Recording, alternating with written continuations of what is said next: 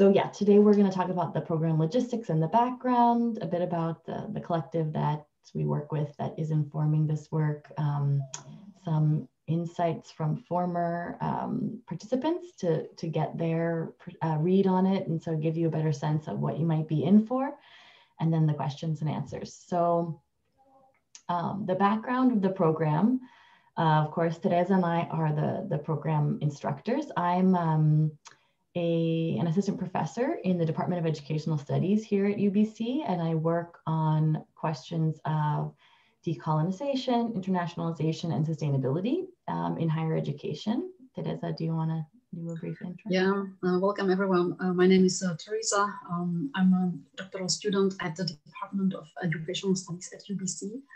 And I've been working for long in the field of education for sustainable development and uh, related types of education, is basically exploring uh, different approaches to sustainability and the reasons why is it that oftentimes they don't really work very well.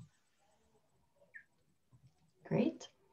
So this program, as you probably know, is hosted by USI. We're very grateful for that. Um, that it started last year. Initially, the idea was uh, for it to be an intensive three-day workshop um, that was at the UBC farm. But then, of course, COVID happened, so we adopted to make it an online program. And of course, given the the context, we're going to be doing the same this year.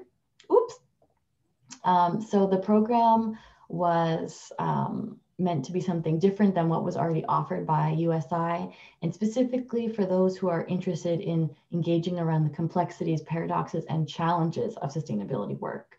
So we especially looking for, for folks who already have some knowledge of sustainability or experience, and that can be academic or something outside of your academics um, some people who are self-driven and self-motivated, which is pretty important because the program will be online. So it, it does take um, some of your own um, self-direction, both um, in the conversations that we'll have, but especially with the, the activities that we'll have for you kind of between sessions for you to do on your own time. It generally helps if you're coming to this with at least some questions or dissatisfactions or frustrations with the way that sustainability is usually done, a sense that, okay, what we're trying isn't working, we don't know what else to do. So we, we need to take this time to sort of pause, rethink what we've done, what's worked and what hasn't, and why, and figure out how to engage this work differently without having all that worked out already. Um, especially the, the limitations of just having the good intentions um, and, and being interested in actually learning from the failures of this because failure is inevitable in this work, especially when we're working with questions that we don't have the answers to already. Um, and then very important is that you are open to experiencing the discomfort of sitting with these questions without easy answers, of sitting with the complexities of it, um, and our own complicity in the problems that we're trying to address. Um, so this is just a brief summary of that, but you can get the full information on the USI website. And Teresa is going to talk about the logistics. Yeah, a bit of our um, envisioned logistics. So for the stamina for sustainability, uh, we are going to meet uh, over the five weeks of June. So basically from 1st June till the 29th June. Sharon, could you add this piece of information to the slide. I think it was, yeah, there. And we are envisioning a follow-up session in September so that uh, in the meanwhile, there's more time for processing and um, for integrating the learning. We don't know whether the follow-up session will happen virtually or in person, but this um, doesn't depend on us. Uh, so uh, each week uh, we would meet we would meet for um, synchronous uh, discussion on Tuesday between 9:30 and 11:30 Vancouver time, and in the meanwhile you will be invited to um, engage with what we call asynchronous activities, uh, which will be likely um, activities tailor-made for this program. For example, uh, forest walks, um, helping us to explore the different dimensions of the, the issues in more embodied way. So I would like to encourage those of you interested in participating to just plan with approximately three hours per week so that uh, you can really dedicate a bit of time to this practice and um, as well uh, have space to have a look at the readings and uh, resources that will then translate in the discussion we'll have the week after. So that's the overall plan.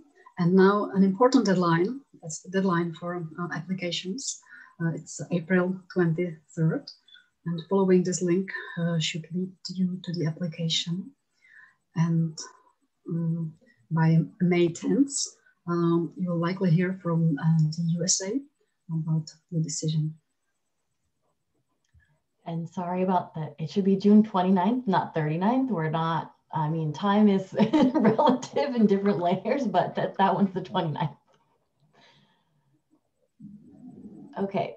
Oh, this, right, got a bit out of order. So um, Teresa and I are members of the Gesturing Towards Decolonial Futures Collective, which is a transnational and intergenerational collective of researchers, artists, educators, students, activists, and Indigenous knowledge keepers who are um, working toward imagining education otherwise, and then everything that goes along with that. So, imagining decolonization otherwise, imagining sustainability otherwise, imagining relationships otherwise. Um, so, we try to bring together many different concerns that are sometimes viewed in silos. So questions of racism, colonialism, unsustainability, climate change, biodiversity loss, the economic crises we're facing now, mental health crises, um, and just this general sort of intensification of social and ecological violence that we're facing. Um, and our work is very much oriented towards um, developing different kinds of experiences and pedagogies and frameworks that can support us to um, work toward healthier possibilities for coexistence in this time of crisis and trying to work the limits of what we already know and, and gesture beyond that, understanding that um, that's difficult work to sit at that edge. And so to support people to do this work and ourselves, we've developed a lot of what we sort of call containers or methodologies that prepare us to hold space for all of the complexity, uncertainty, and discomfort. And especially for difficult conversations about this, these topics that we can have without the relationships falling apart. So it's neither let's go along to get along, nor is it, well, let's just compete for who has the best critique. No, we're really trying to go deep into these questions and move from what's often sort of mile wide, inch deep inquiry to mile deep, inch wide. So going very deep. And in this program, we're going very deep in the question of how can we imagine sustainability otherwise? So um, a bit more about the methodology. Um, what we say in our work is that uh, we're, we are facing these huge challenges, sustainability being one of them. Um, but the problem is not so much that we don't have the right information or we don't have the right technology we don't have the right critique. All of that is important, and we're not we don't dismiss that, and we will be talking about some of those things. But we very much view this uh, these challenges as something that has to be uh, faced by rethinking the way that we we are in the world, our being, the way we relate to each other, the way we relate to knowledge, and very much um, these. What often happens is that to hold on to the comforts of what we have known, especially when we're facing uncertainty, we move into this space of denial denial of uh, the unsustainability that we're facing, denial of the colonial violence that has contributed to that, denial of our interdependence with one another, and denial just of the depth and magnitude of the problem. So we're trying to work to interrupt those denials so that more um, of the reality can, can, we can face it and we can figure out what to actually do next. So preparing to face these unprecedented challenges and moving beyond the, the common ways we relate to, to each other in the world of extraction, exploitation, and overconsumption. So the work is very much informed by two things. One is the sort of critiques that have been offered by post-colonial, decolonial, abolitionist, indigenous studies um, scholars doing this work, but also the communities that we actually work with in uh, Brazil, Peru, Mexico, and Canada um, that are facing the, the fullest brunt of of the crises that we're facing. And they're showing us that it's possible to do this in another way. Not that they have the answers, but they remind us that other ways are possible. And we work um, in many different dimensions, but especially, yes, in the intellectual when it comes to the critique, but also in the affective, in our sort of emotional responses to these crises and to the moments when we're challenged on the, the assumptions that we have, and learning to um, do this work differently and clear some of the things that get in the way of these realities actually landing and, and of the possibility for something else. And then the relational dimension being, you know, we don't have the answers to any of how we're going to face these crises. Um, we have some ideas, and, and many people do, but we really think the quality of the relationships that we have um, with each other is what's going to enable this to move um, without having any answers. And then, of course, the political, ecological, and economic dimensions are then informed by the intellectual, affective, and relational work that we do. So this approach, um, it is counterintuitive. So it's it's not the normal approach to sustainability. It's not the normal approach to education. And Teresa is going to talk a bit about that in a second. Um, but normally these programs, especially about sustainability, are how can we empower people to make change? How can we have, find the exceptional answer, the exceptional group that has the answer? And that's not our approach, although there's many benefits to those approaches in different contexts. So we're trying to clear out what's no longer useful so that other things become possible.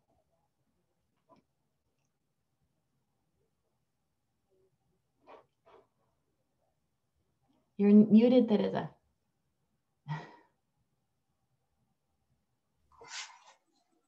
So following up on what Sharon just said, one of the specifics of our work is um, we work a lot with metaphors. And uh, what metaphors have in common is that they are not trying to give a very like, detailed description of every single aspect of reality, but those that we work with, they are rather trying to make visible things that um, are usually invisibilized.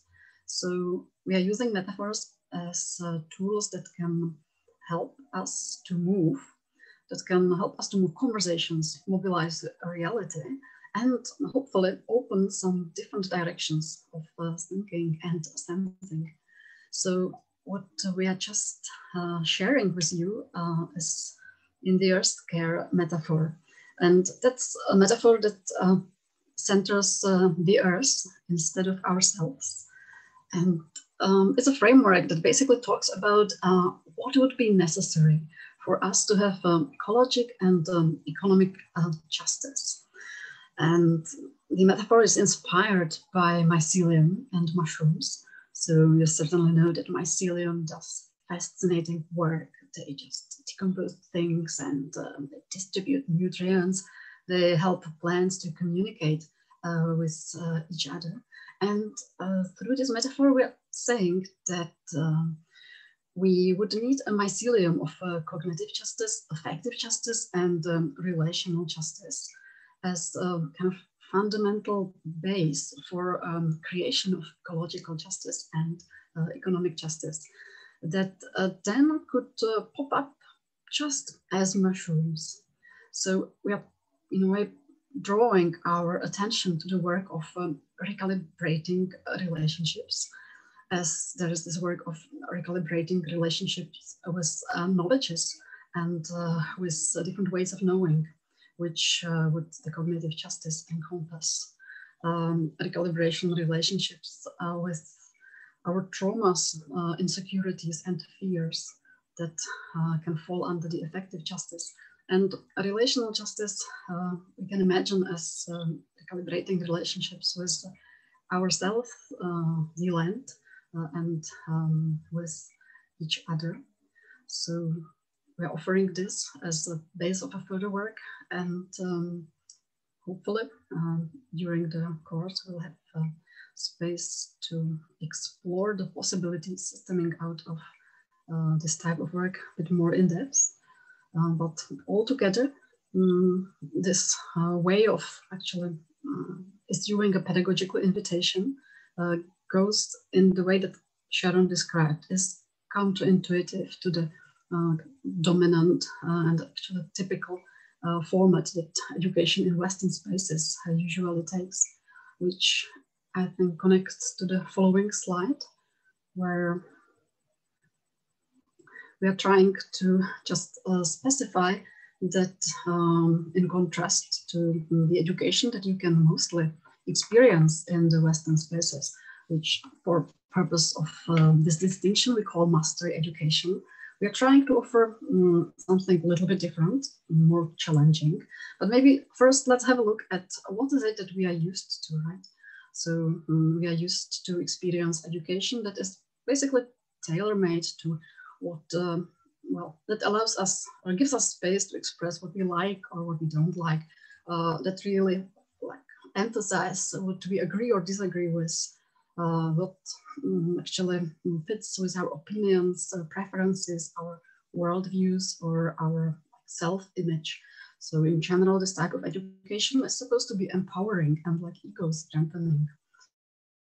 While on the other hand, what we are trying to experiment with, and what we are offering with the stamina uh, for sustainability, is a depth education approach that is complexity focused and um, emphasizes is put rather on the difficulties.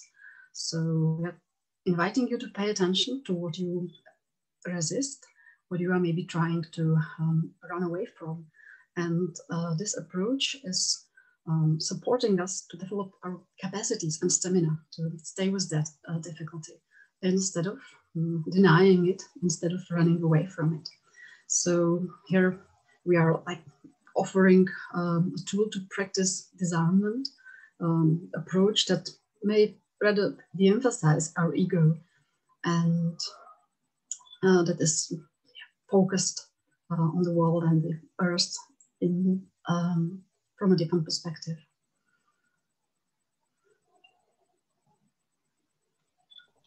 Okay, so um, just to maybe help give you a sense of what the experience is like, um, it's hard to describe it because it's very much the practice of doing it, but we thought we would um, offer you some quotes from people who participated last year to kind of give you a sense of how the experiences was for them. And I'm sorry if you can hear my dog snoring, he's in my lap.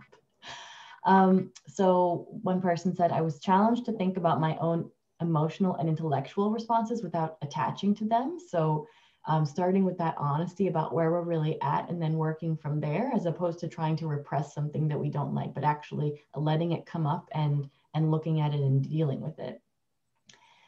Um, another person said the affective dimension of learning in times of crisis was emphasized. This is hugely important because we're trained in the academy to have very large heads and tiny bodies. So we're trying to bring the body back into this without, you know, getting rid of the head, but trying to make it a little bit more balanced. Um, and, and all the places where this work happens within us, in our heads and our hearts and our guts. Um, then having spaces for open and meaningful conversations about deep underlying emotions around complicitness and uncertainty of the future. And those are the conversations that can get pretty uncomfortable. Um, but if we can stay with it, then really deep learning can happen.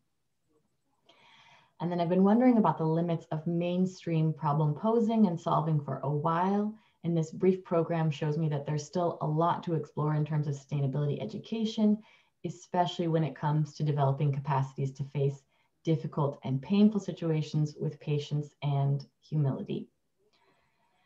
So that person already came with sort of this frustration about what, what already was, which then helped them be open to the possibility of something else. And doesn't mean you agree with anything we present. We're not asking that. We're just asking for you to sit with it and see what comes up and then work with what comes up.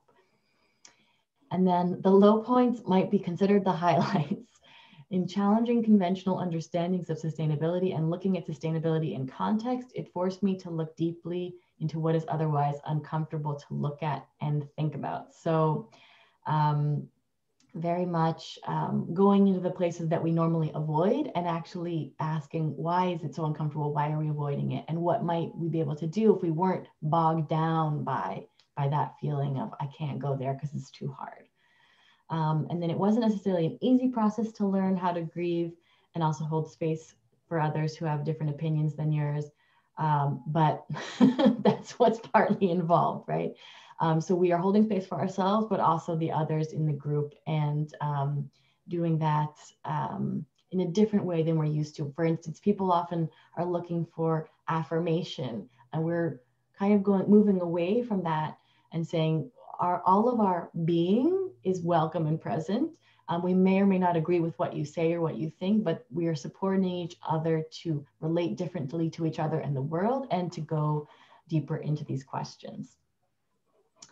So, um, the invitation that we have in this course, um, you are invited to develop stamina, thus the title, resilience, and intellectual, affective, and relational capacities that can prepare you to hold space for all of these complexities, uncertainties, paradoxes, and contradictions that are going to be, you know, for this course focused on sustainability, but can be useful for other areas of your work as well.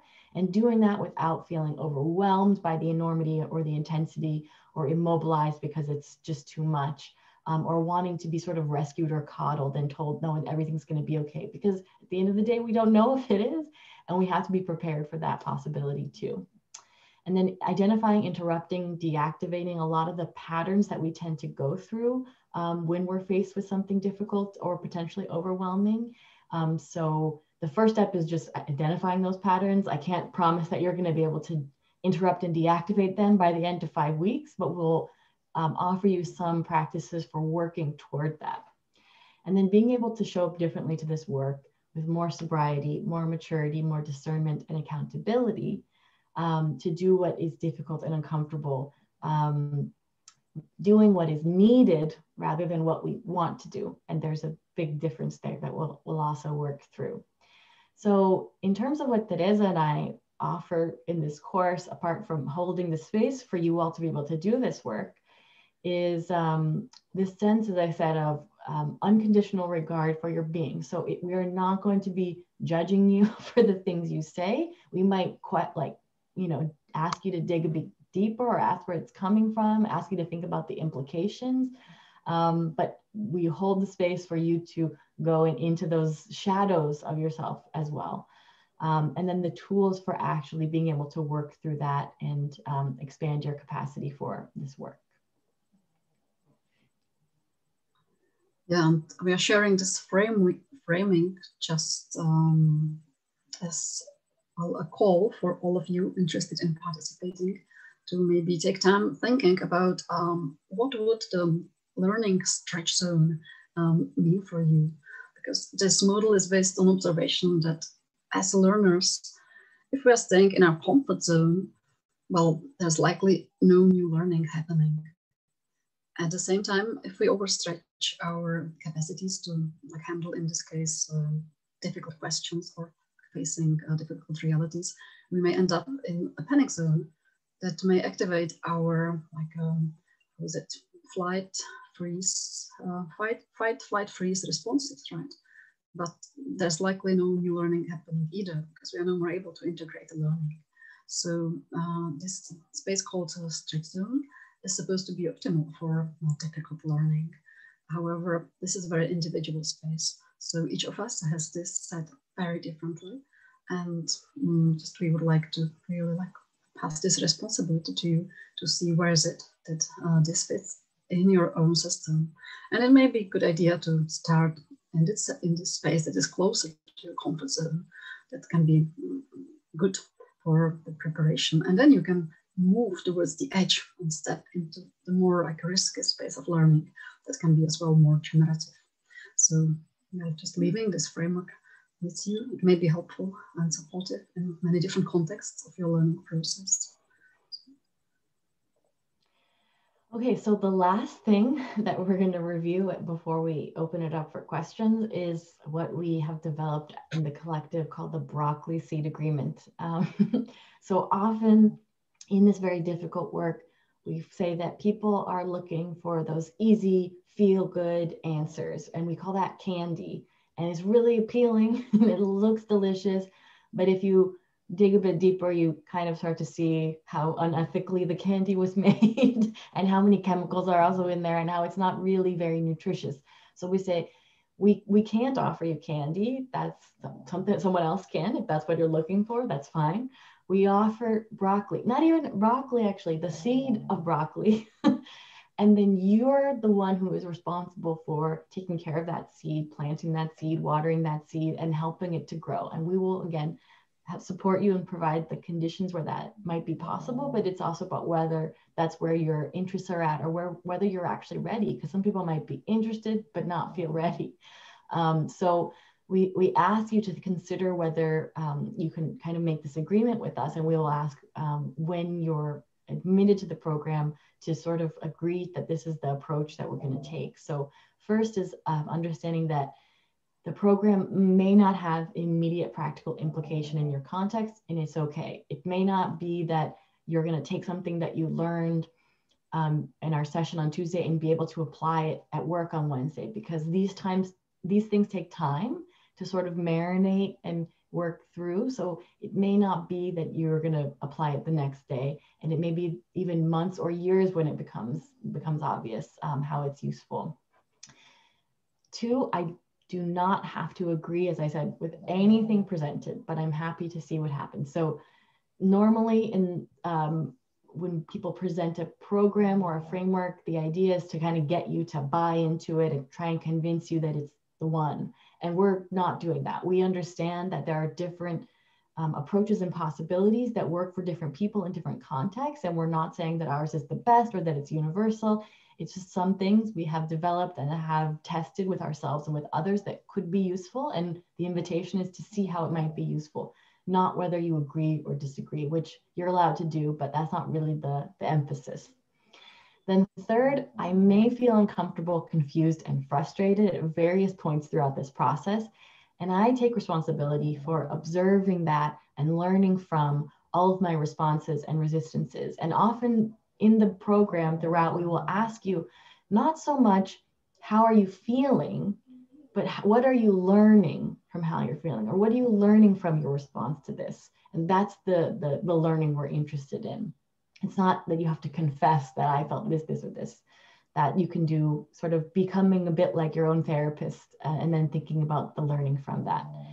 And then it's up to me to decide when to push myself further and when to stop and observe. So if at some point it just becomes overwhelming and you need to step back then you are obviously welcome including if you want to maybe be present in a session but you don't feel like you, you want to be actively participating. You can be a witness to that process. Um, sometimes it's just a bad week or the, the topic is very close to us and we, we just can't be as involved, but we can be present um, and, and observing. So those are the four pieces of the broccoli seed agreement that um, will ask you to think about if another way to think through whether this program is right